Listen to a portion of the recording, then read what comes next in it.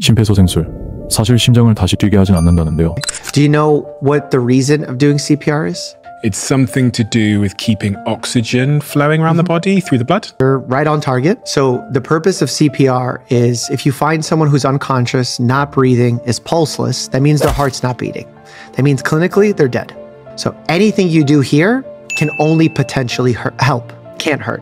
So, by doing proper CPR, what you're doing is you're compressing the chest to squeeze the heart, which has some blood in it, to circulate the blood throughout the body that still has some residual oxygen in it to deliver oxygen to the vital organs. So you're not actually saving someone's life by doing CPR, you're buying them time. The purpose of doing CPR is to allow time for first responders to arrive to then give advanced cardiac life support. And that's why the first step of doing CPR has nothing to do with the person and has everything to do with calling for help.